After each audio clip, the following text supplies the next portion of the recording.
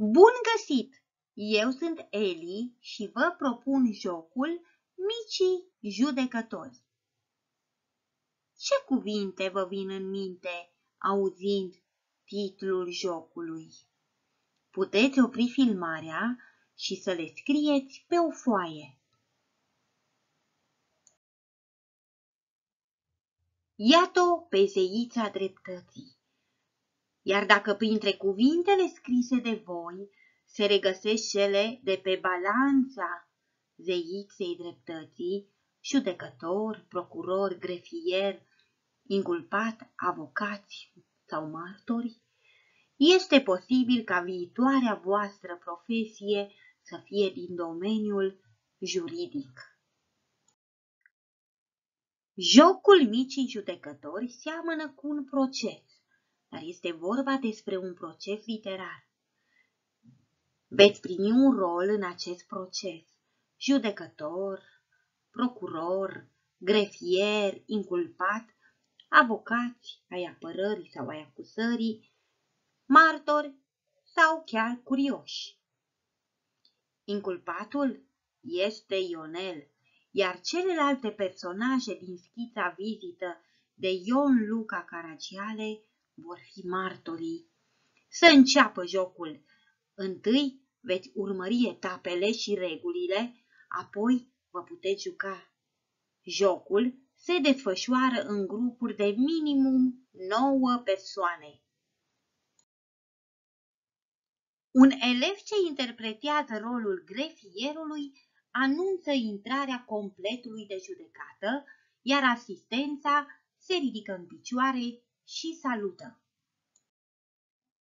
Judecătorul pune în temă auditoriul cu cazul ce va fi judecat. Comportarea lui Ionel Popescu în timpul vizitei prilejuite de onomastica sa. Procurorul dă citire actului de acuzare. Ionel Popescu, un băiat de 8 ani, se face vinovat de comportament nepoliticos. Cel care va avea acest rol trebuie să enumere toate faptele necuvincioase.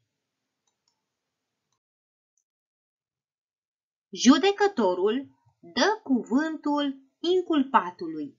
Acesta va recunoaște faptele, dar va încerca să se apere cu argumente. Urmează momentul în care se audiază martorii. Musafirul, slujnica, mama, care prezintă aspecte ale cazului din punctul lor de vedere și pot răspunde la întrebările avocaților. Judecătorul dă cuvântul avocaților acuzării și apărării. Fiecare avocat va aduce argumente care să-l acuze, respectiv să-l apere pe Ionel. Urmează o pauză de deliberare, iar la finalul procesului, judecătorul citește sentința. Ionel poate fi găsit vinovat și va primi o pedeapsă. Vă puteți gândi la un mod prin care acesta se poate îndrepta. Sunt sigură că vă place provocarea de astăzi. Vă sfătuiesc să recitiți cu atenție textul vizită scris de Ile Caragiale, astfel încât să puteți interpreta rolul primit cât mai autentic. În funcție de rolul jucat, pregătiți-vă din timp argumentele. Pentru a fi convingători, puteți transforma sala de clasă într-o instanță de judecată folosind elemente de recuzită. Succes! Zeița dreptății, împreună cu mine, vă reamintim.